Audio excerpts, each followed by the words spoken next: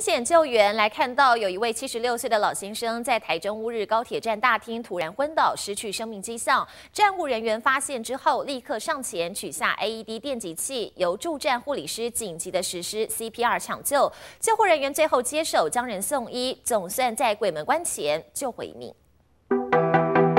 铁站站务人员快步冲出闸门，取下 AED 电击器后，再冲回高铁大厅。之所以这么紧急，正因为当下有一名老翁已经昏倒，失去生命迹象，要分秒必争，跟死神抢命。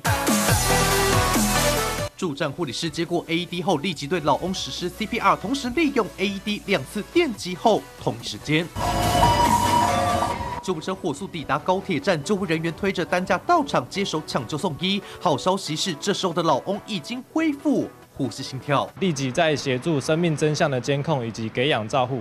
那于到院后，患者已经能够对谈。救护车上老翁明显意识清楚，到院后还能跟医护人员讲话沟通，这可是让救护人员相当振奋。患者已经失去了呼吸及脉搏，现场如果可以立即的先给予 CPR，那再加上 AED 的电击，那可以大幅的提升患者的存活率。这起惊险救援过程就发生在日前台中乌日高铁站，当时高龄七十六岁的陆姓老翁突然心肌梗塞昏倒，失去意识。好在现场护理师以 CPR 和 AED 急急救，还有救护人员的即刻救援，终于在鬼门关前救回老翁一命。家属事后感激，老翁也已经顺利出院。记者张尚顺。炫台中不到。